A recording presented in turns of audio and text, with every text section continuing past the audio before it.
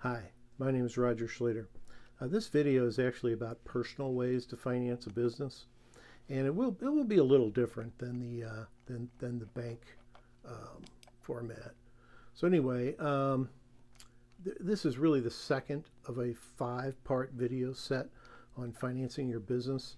Uh, the five parts are bank financing, uh, personal ways, which is this one, other financing, um, crowdfund, crowdfunding and peer-to-peer financing, other equity and incubator financing. So anyway, um, this one, like I said, is actually on personal ways to finance a business.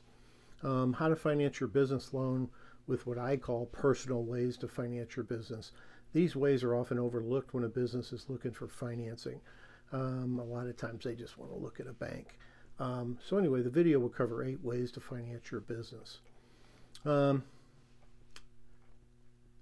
the uh, first way is really selling assets. I mean, these assets can be business assets or personal assets. I mean, this could be selling things that you no longer use anymore or selling items of value, you know, to get extra money to finance your business. Uh, this could be, you know, as, as, as little as like camping equipment that you don't use anymore. Maybe it's a coin collection or maybe, you know, it's some stock that's not interesting to you anymore, or at least not interesting as your business is. Um, that would be number one, really anything you have of value that you want to sell uh, to get cash to go ahead and put in your business. Uh, the second way would be life insurance cash value. Uh, some people, almost, some people, or a lot of people, have life insurance policy that is accumulating a cash value. Uh, this is usually just on whole life policies and universal life insurance. Um, you can borrow from the insurance company on this if you have a cash value, or you can borrow from a bank who will use the policy as collateral. Um, term life usually does not have a cash value. Um, so it just kind of depends on what kind of insurance you have. Uh, remember, this is not the face value of the insurance. Like, let's say you have a $100,000 policy, and, and that's the, the face value of it. It's actually the cash value of the policy.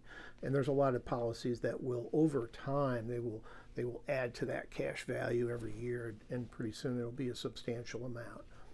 Um, I actually had a, um, a, a client one time who was having trouble financing some real estate he had or he wanted to buy. And I said, well, did you ever, you know, look at the cash value of your life? I said, do you have life insurance? And he said, yeah, uh, pretty much. And I said, well, does it have a cash value? And he said, yeah, I'll check.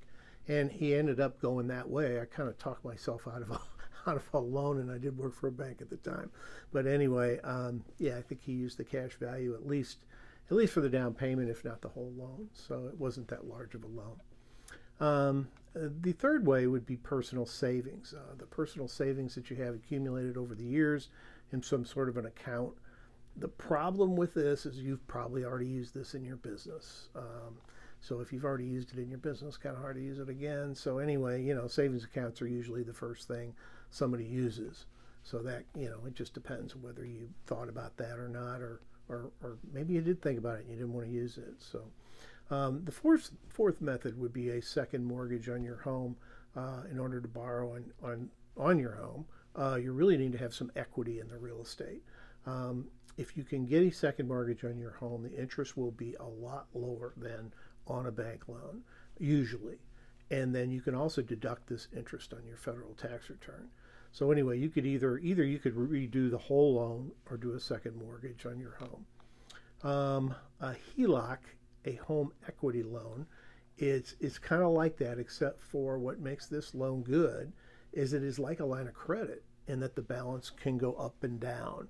Um, if, if you pay it down, then you can reborrow it again. So it's basically like a line of credit, um, you know, that's that, that you can borrow up on and then you can pay it down and then reborrow again. Um, unlike the traditional line of credit, the loan is usually for a period of time, like five or 10 years. Um, but again, you really need to have equity in your home to be able to do this. Um, number six would be a side business or side gig. Um, having a side hustle or side business is great if you can keep all the money that you make and not spend it on something else. Um, and I'm not talking about your business, it could be, but sometimes people do a side business. They'll do maybe work at some company for a while, or or maybe they have some skill that they that they can do, you know, they, they can use to, to make some extra money. Um, and this is always a good way to amass some money for your business.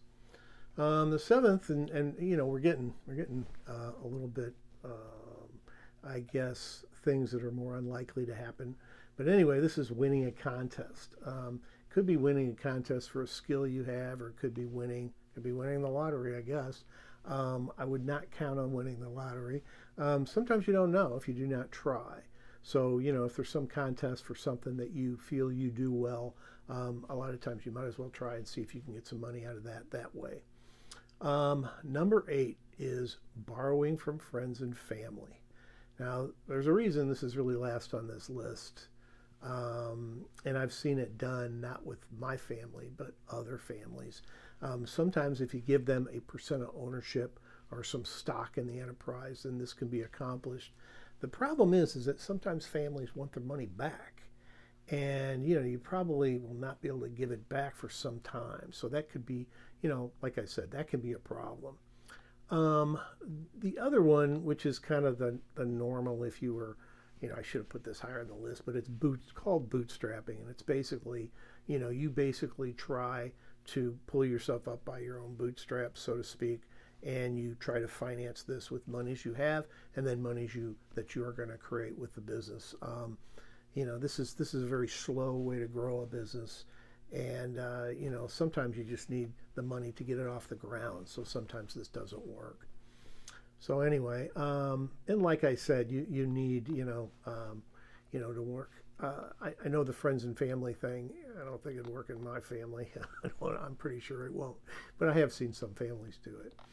Anyway, uh, most of the items on this list are possible, but you have to either have, you know, for the insurance, you got to have a whole life policy with a cash value, you know, or or, or you know, and then for the for the uh, mortgage or uh, second mortgage or for the uh, HELOC, uh, you really do have to have equity in your home. Um, but these are ideas to think about. You know, it's it's not an end all. You know, any one of these.